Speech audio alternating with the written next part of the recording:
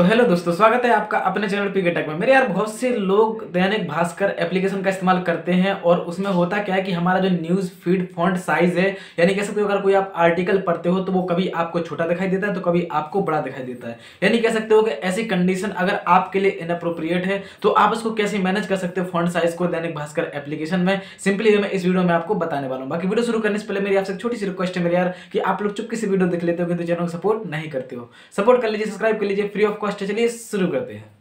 तो जैसा कि आप देख पा रहे हैं कि मैं अपनी मोबाइल स्क्रीन पर आ चुका हूँ। मेरे दोस्त, अगर आप अपने फ़ोन में दैनिक भास्कर एप्लीकेशन का इस्तेमाल करते हो, न्यूज़ पढ़ने के लिए, सिंपल मैं कह सकते हो मेरे दोस्त, और जब भी आप इसमें कोई भी आर्टिकल पढ़ते हो, जैसे मान लीजिए कि मैं इसको ओपन करता हूँ और मैं यहाँ पर कोई भी आर्टिकल पढ़ता हूँ, जैसे मान लीजिए मैं यहाँ पे जाता हूँ ओमिक्रॉन पे और यहाँ पर जो आर्टिकल दिए गए हैं सिंपल मैं, अगर मैं इस पर टैप करता हूँ तो मुझे काफ़ी ज़्यादा लो क्वालिटी में या फिर कह सकते हो कि बहुत ज़्यादा छोटा मुझे इसमें क्या दिख रहा है, फॉन्ट साइज़ का दिख रहा है, यानी कि बहुत ज़्यादा छोटा छोटा मुझे दिख रहा है, जिससे कि मुझे बिल्कुल ही मज़ा नहीं आ रहा है पढ़ने में।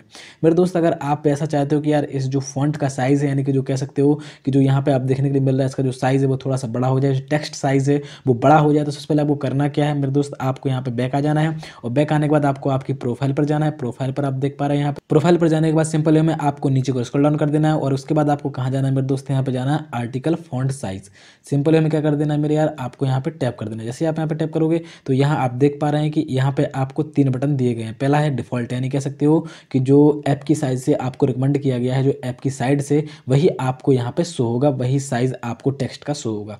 अगर आप चाहते हो कि नहीं, थोड़ा सा मुझे बड़ा करना है तो सिंपल में आपको बीच वाले पे टिक कर देना है। मध्यम पे तो आप देख पा रहे हैं कि इसका साइज़ थोड़ा सा और बढ़ गया है।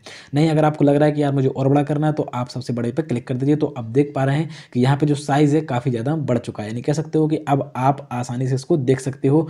चलिए, अब मैं आपको बताता हूँ कि आखिरकार आर्टिकल में ये बड़ा हो रहा है कि नहीं हो रहा है। जैसे मैं बैक आ जाता हूँ बैक आने के बाद सिंपल है, मैं कहाँ जाता हूँ? ओमिक्रॉन ए टू जेड पर जाता हूँ। और यहाँ पे चलिए, मैं इसी सबसे पहले यही मतलब जो आर्टिकल दिया हुआ है, मैं इसी को ओपन करता हूँ। हालाँकि अभी बहुत छोटा दिख रहा है, हमको इसका टेक्स्ट लेकिन चलिए मैं इसको टैप करता हूँ। तो आप देख पा रहे हैं, मेरे दोस्त काफ़ी बड़ा बड़ा आप इसमें दिख रहा है। आप बड़ी आसानी से उसको पढ़ सकते हो, बहुत सिंपल है, मैं इस पर समझ सकते हो। तो मैं आशा करता हूँ कि आपको वीडियो पसंद आएगा वीडियो अच्छा लगा हो तो चैनल सब्सक्राइब कर लीजिए और बेल का आइकन ज़रूर प्रेस कर लीजिए। थैंक यू सो मच यार।